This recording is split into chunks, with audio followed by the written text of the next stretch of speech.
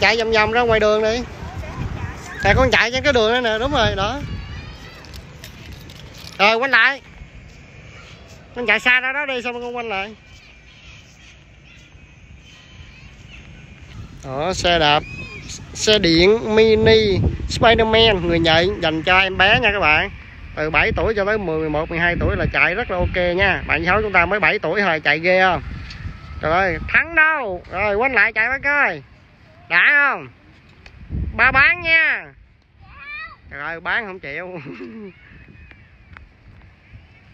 Quanh qua đây tính đua luôn à trời à, rồi chạy nhanh. Let's go. Làm gì vậy? Bạn cháu 7 tuổi nha. Xe dành cho các bạn từ 7 cho tới 15 tuổi là chạy được nha các bạn à, uh. à,